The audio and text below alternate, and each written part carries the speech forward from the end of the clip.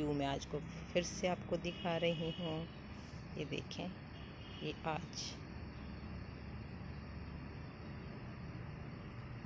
आज का follow up review yellow part जो था, वो सब गिर गया है। और अब इन बॉल्स ने ये फॉर्म ले ली है ये देखिए इनको मैं भी आपको पास से दिखाती हूँ।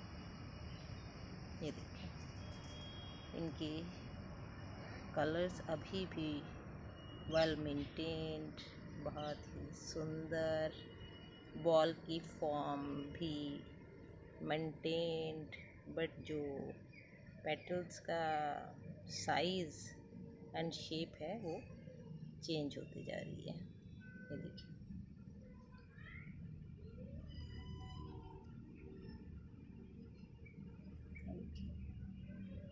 थोड़ी श्रिंक हो गए हैं, थोड़ा डिहाइड्रेट हो गए हैं। येलो पार्ट थोड़ा कहीं कहीं पे दिख रहा है, कहीं पे बिल्कुल ख़त्म हो गया है ड्राई हो गया है।